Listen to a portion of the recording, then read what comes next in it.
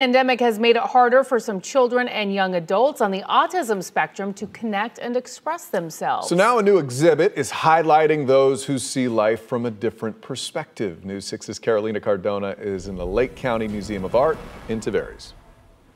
You actually have young individuals just following this very intrinsic interest and bringing it to a very unique um, result. Nine young artists ranging from ages 7 to 26 who have autism and use art as a form of communication, whether it's through colorful paintings or fashion designs like this exhibit from 11 year old Anada Virgo, who creates Ethiopian dresses.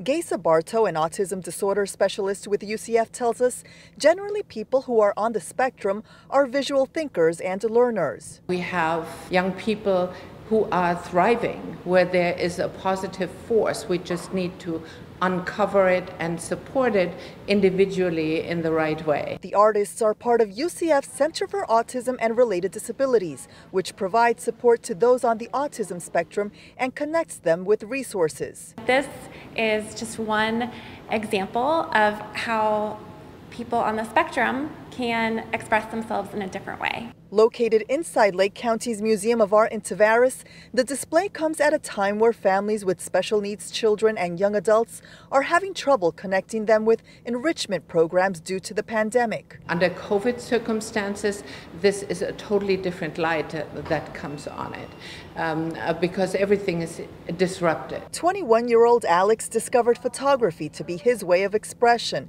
and is fascinated by the moon. We never saw all the pictures he was taking on the street, the moon, and when we started looking at his pictures, we were like, wow, this is amazing. His curious mind finds art even in things most of us wouldn't find it, like inside a storm drain where he took a picture of his reflection. That is what's so unique about my son that he, he for his pictures to be here displayed and you know and is is really very special for us and, and for him as well. In Tavares, Carolina Cardona, News 6.